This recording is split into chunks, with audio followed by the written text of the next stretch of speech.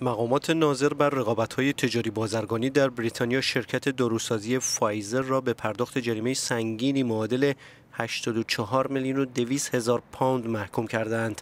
این شرکت آمریکایی مسئول افزایش بیش از حد قیمت داروهای مربوط به درمان بیماری سر در بریتانیا شناخته شده است. فنیتوین نام داروی درمان سر است که قیمت آن از حدود 3 پوند به 54 پوند در سال 2014 افزایش یافته است. این افزایش قیمت خرج و هزینه های نهاد خدمات بهداشتی بریتانیا تنها برای این دارو را به رقم 50 میلیون پوند در سال 2013 رسانده است.